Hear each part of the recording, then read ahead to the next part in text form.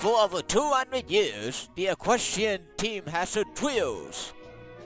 See the people are marching on the parade in Washington, D.C.? They're about to march with the horses around the Washington, D.C. every time. So the president says. Okay, so I wasn't the first one to say it, but I meant it. Uh, yeah, dude. Mega successes to you and the other space monkeys.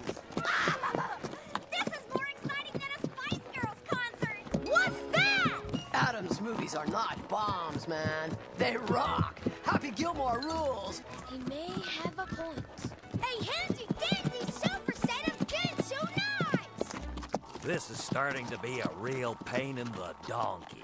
Uh, don't you know it's gonna be alright? And I want you to watch it.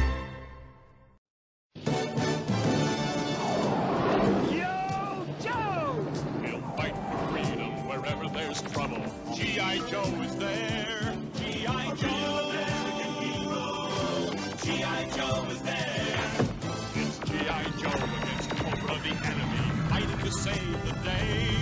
He never gives up, he's always there, fighting for freedom over land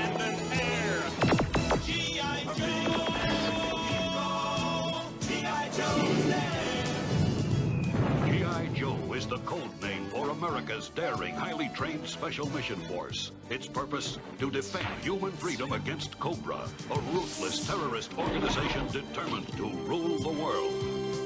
He never gives up, he'll stay till the fight's won. G.I. Joe.